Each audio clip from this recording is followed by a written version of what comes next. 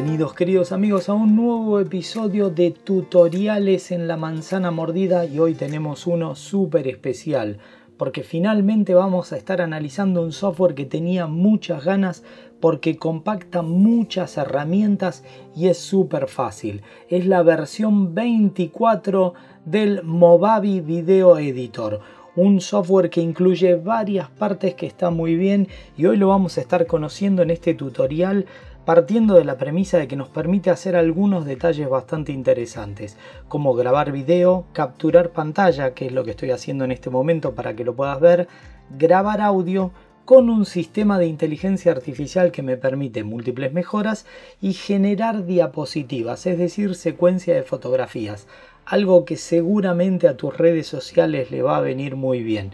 Como verás, la ventana es súper simple y por cierto, te adelanto, ahora lo vas a ver, toda el área de línea de tiempo está mejorada casi te diría en un 70% y tiene nuevas funciones supervisuales y uno de los mejores y más inteligentes sistemas de recorte de escenas.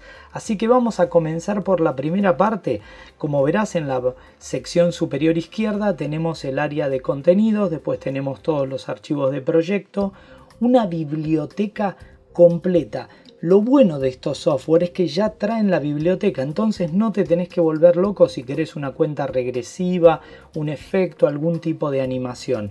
Luego tenés fondos que pueden ser tanto estáticos como dinámicos, eh, separados por galerías realmente muy grandes y después algunos videos de apertura.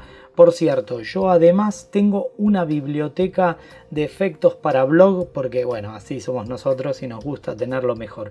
Pero en este caso lo único que voy a hacer es venir aquí que tengo un montón de videos de Sevilla que grabé con mi iPhone y algunos videos que fui grabando de distintos estilos. Simplemente marco todo, incluso una carpeta de contenidos y los arrastro. El proceso es súper automatizado, como verás ya los tengo disponibles y aquí está toda la parte de los contenidos, lo cual es muy útil porque lo hice simplemente arrastrando y tirando. Vamos a seleccionar todos los videos de Sevilla, los voy a marcar supongamos hasta acá y los tiro directamente a la línea de tiempo. Un solo paso y ya quedó, me va dando tutoriales y algunas ideas que sí, te las voy a enseñar. ¿Ok?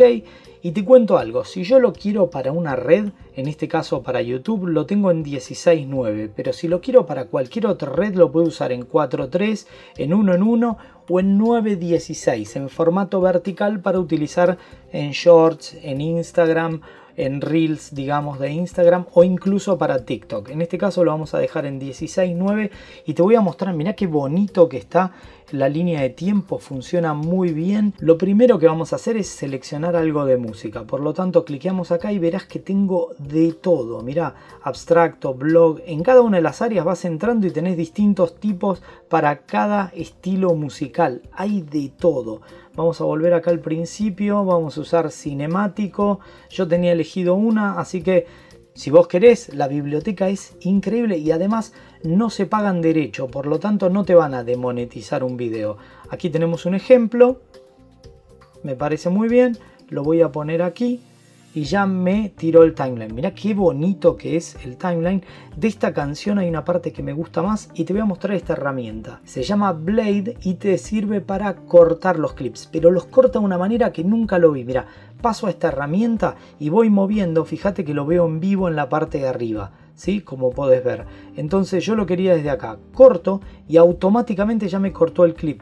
Vamos a hacer un poquito de zoom. Con esta parte se hace zoom Vamos a tomar acá, voy a ir al principio y voy a buscar, a mí me gusta desde que empieza el paneo, entonces corto ahí hasta que termina el paneo, vamos a terminarlo ahí. Ok, vuelvo a esta herramienta, fíjate este truco, si yo dejo el mouse me dice que esta herramienta se llama A y esta herramienta se llama B. Por lo tanto, si yo cambio A, me cambia la herramienta, le doy cortar y fíjate que tiene una para poder ajustar automáticamente para que no queden pausas.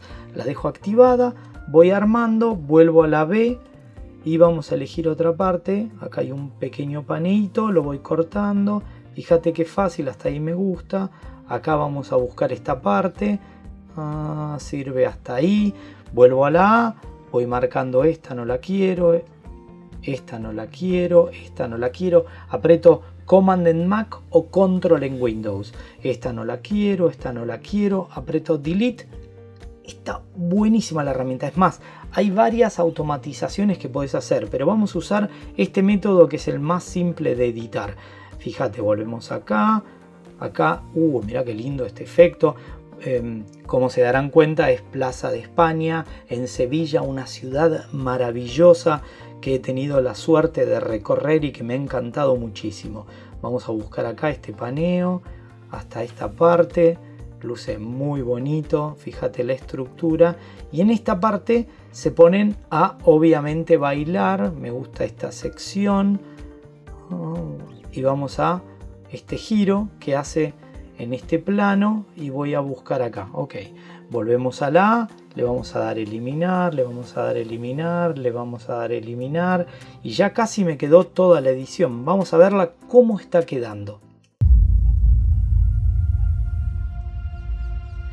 Por cierto, me acabo de dar cuenta que estamos hablando, eh, entonces esta pista que están viendo acá tiene audio. Lo único que hago es muteo la pista entera, así no me preocupo. Vamos a oír el audio y acá veo que hay un pequeño error. Este corte quedaría más bonito acá. Fíjate lo que puedo hacer. Selecciono acá este clip y lo estiro para que me coincida el corte. Entonces vamos a verlo cómo va yendo.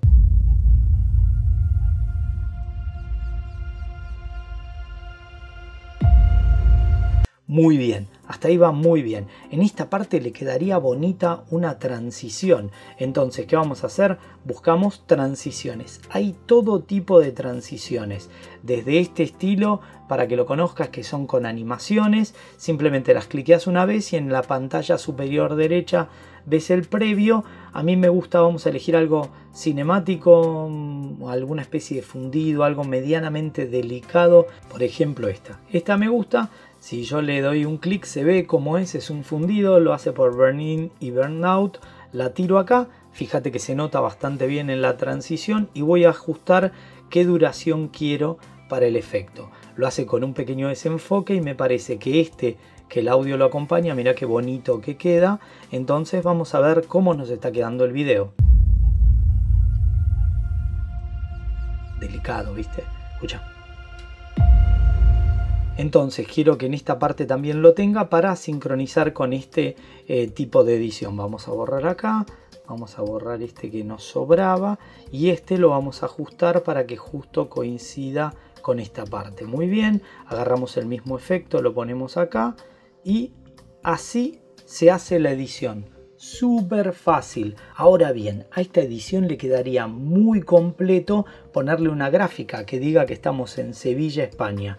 Por lo tanto, vamos a ver qué gráficas tenemos disponibles. Oprimimos la T de texto. Fíjate que la biblioteca es enorme. No paran de sacar contenidos.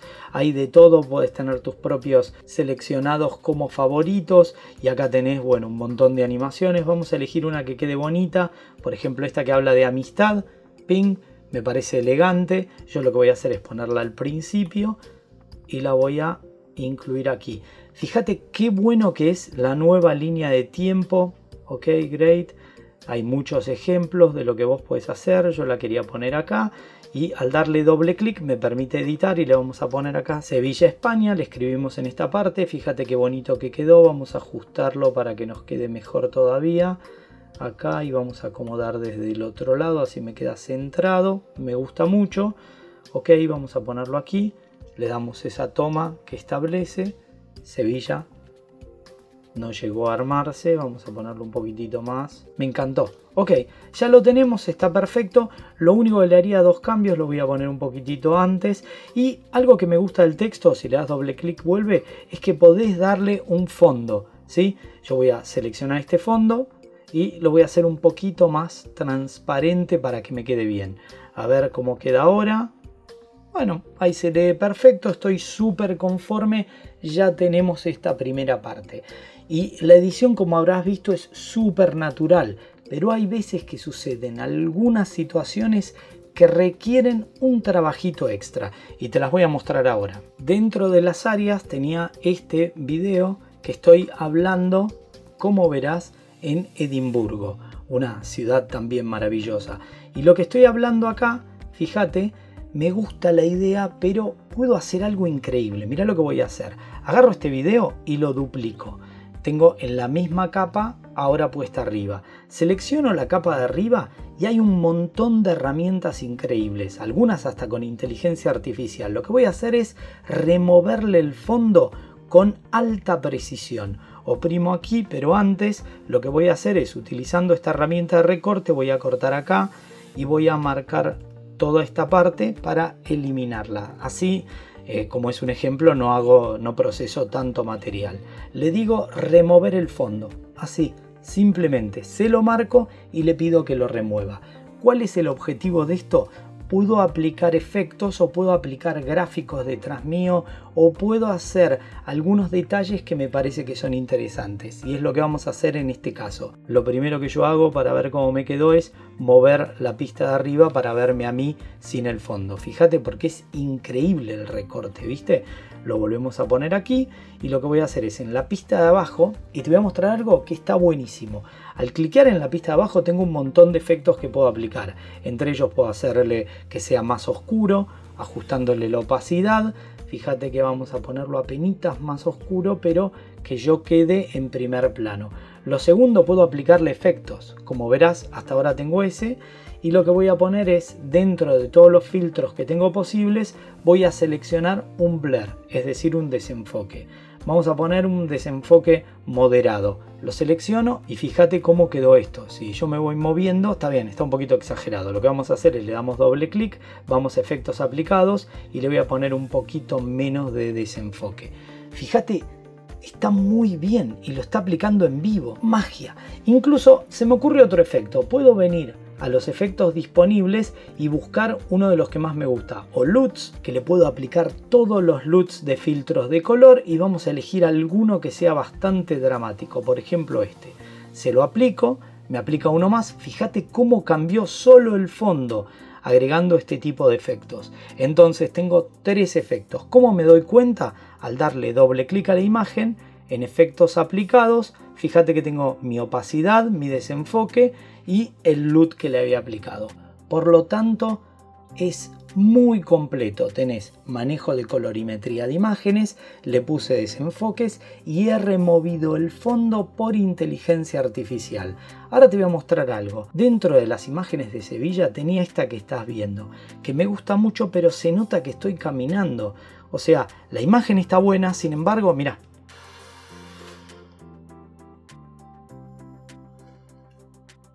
¿Te das cuenta? Voy caminando. Entonces, cliqueo este video y dentro de los efectos puedo hacer algo increíble, que es venir una vez más al área de efectos y cliquear en estabilización. Simplemente un clic, le doy estabilizalo. Me va a preguntar los parámetros, el índice de exactitud, cuánto quiero, no le vamos a dar ningún parámetro para que veas el modo automático. Le doy aplicar estabilización. Así. Nada más. Una vez que terminó, fíjate cómo queda. Acá tenemos el parámetro, este es el modo original. Fíjate que es muy notorio mi caminar. Se mueve demasiado. Ahora bien, vamos a poner el previo después de haber aplicado la estabilización y fíjate qué fluido, casi como si tuviera un gimbal.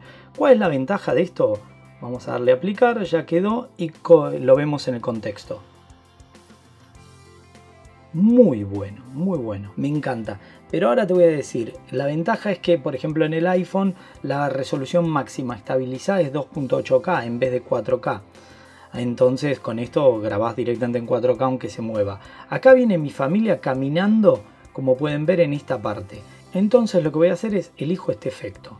Es un efecto que funciona bastante bien, es un efecto especial, lo podría poner aquí, en esta parte, vamos a ponerlo hasta ahí que es donde está. Vamos a cortar este video hasta el punto en el que hago el zoom. Ahí se va a ajustar toda la línea de tiempo.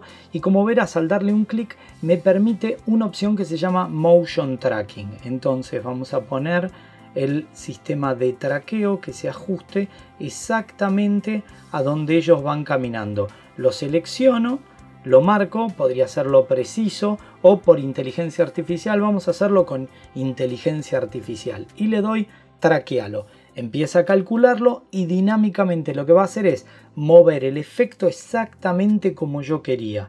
Una vez que terminó, vamos a darle play a ver cómo nos quedó. Fíjate, los va siguiendo. Exacto. Esto está buenísimo. Es más, podríamos hacerlo con distintos elementos. En esta toma que se mueve el patinete, donde ustedes quieran. Tengo una parte más para mostrarte en este video que es increíble. Yo estoy grabando acá mientras que estoy paseando al lado del Guadalquivir y voy charlando. ¿Qué es lo que hago? Fíjate el audio. Mira, presta atención, te doy play. Mira el audio.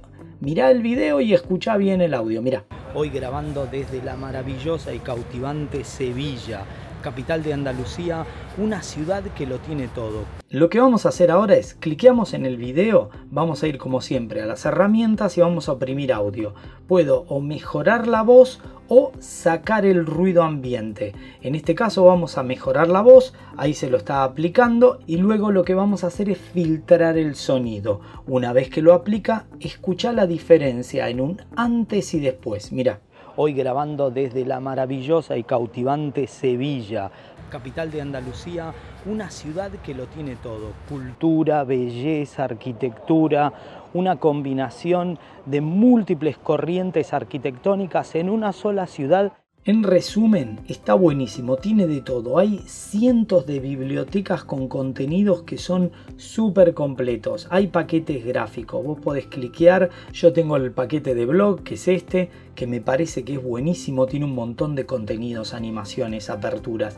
Pero donde entras hay paquetes, hay una cantidad increíble. Y donde están también tenés esta tienda donde puedes ir a buscar los packs. Es más, si clicas acá donde dice pack info, te dice si trae rebordes, entradas, gráficos, stickers, títulos. Y vos fíjate que, bueno, no tiene límite. Así que me parece que es una gran alternativa espero que te haya servido y te haya gustado. Por lo tanto, recordá que en la caja de descripción te dejamos un link con el 90% de descuento en la tienda y descuentos especiales para tu suscripción anual.